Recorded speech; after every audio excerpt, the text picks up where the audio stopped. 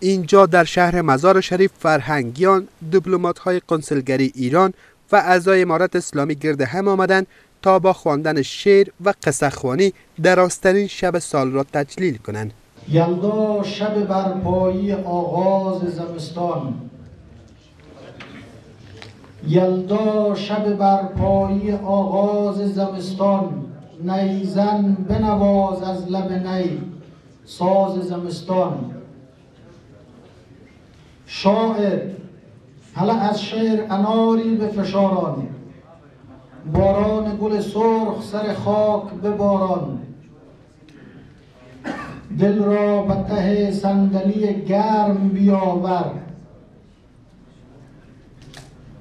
دل را به ته صندلی گرم بیاور از سرخی دوگونه گل شرم بیاور. امروز بدون تحفظات قومی دینی مذهبی تمامش کنار گذاشتیم. فرهنگ هم دیگه. پذیر را خواستیم به خوبی به نمایش می‌گذاریم که یکی از شنگردار می‌تونیم یاد کنیم. من من مدیر یک مکتب کاملا از گذاشته ها کنه خود در شرایط کنی راحت می‌دونم از هر نگاه. جلوگیری از فساد است جلوگیری از بیبندوباری است. ضمن از که امارت اسلامی افغانستان یکی از بزرگترین شبهایی که شب یلداست که جشن تاریخی ماست که ایره که عطا دیده قدر نگسر قلبا سپاسگزاری می‌کنم معاون قنسلگری ایران در مزار شریف که در این جشن فرهنگیان پیوسته است بر حمایت کشورش به فرهنگیان و نویسندگان بلخی سخن می‌زند. این نوید رو میدم که آمادگی جمهوری اسلامی ایران رو اعلام بکنم.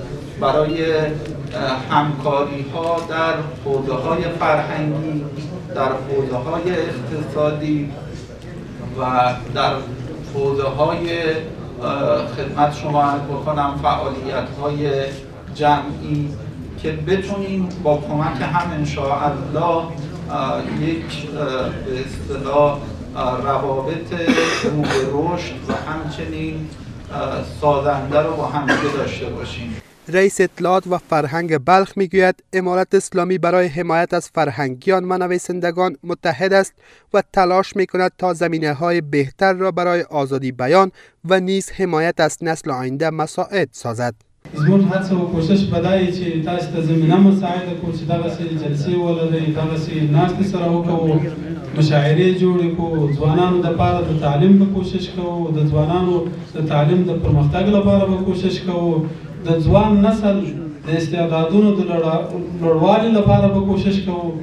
دا ټول موږ او تاسو په مشترکه توګه خپل مسؤلیت بولو چې د خپل ټولنې لپاره د خپل ځوانانو لپاره د خپل ولس لپاره د خپل هیواد او نظام لپاره به خدمت کوو.